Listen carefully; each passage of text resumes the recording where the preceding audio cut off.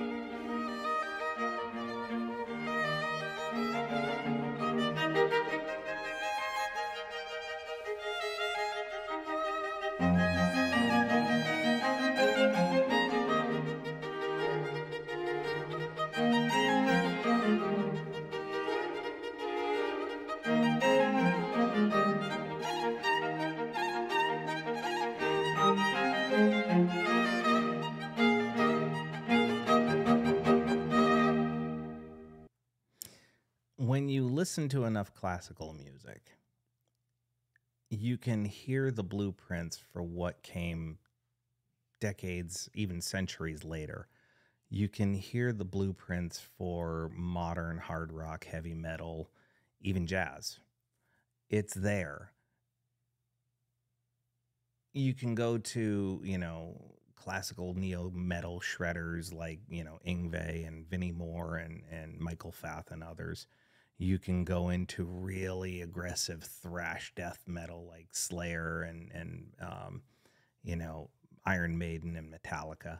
You can listen to all of these roots, uh, you know, all these classic foundational heavy metal hard rock players, and you can hear the classical inspirations. It's there. I, you just have to listen to enough classical music. You got to expand your horizons expand your ears and just realize you take a piece like that you put some heavy distortion on it and listen to the just the percussive nature of it and you can hear different styles of metal. It's always been a foundational part of the the hard rock heavy metal guitar playing scene anyway. And whether you're listening to you know Haydn, whether you're listening to Beethoven, Mozart, uh, Bach, Tchaikovsky, you know, um, um, Schubert, you know, when you listen to any of these, Vivaldi, Paganini, any of them, you can hear at least some part of their stylings inside um, metal, you know. Uh, I don't care again if we're talking about Avenged Sevenfold or, or you know, um, you know, uh, uh, um, I can't. Oh God, my brain is actually, you know, go all the way back to Ritchie Blackmore. You know, obviously Yngwie and others. It's like you can hear, you can hear the inspiration. It's there. It's clear as day. And I don't think any of them are hiding it. You know, nobody's sitting there saying, "No, I came up with this all by myself." No, you, you, you. We are. I've said it before. I'll say it again, and I'm stealing this from the Eric Johnson instruction video. Um, Total Electric Guitar he made the point. He goes, We're all an amalgamation of our influences. And what we are as a performer, what we are as an artist, what we are as a musician is a combination of our influences and what inspired us to con- to continue to learn and grow as an artist. Simple as that. Um, I'm going to cut this short because I don't really need to say anything else. It's a beautiful piece. So, you know, happy birthday in memory of the late, great uh, Joseph Haydn. Hope y'all enjoyed that. Please feel free to leave a comment in the comment section below. We can talk about it further. Know that I appreciate every single one of you and I wish you well. Take care.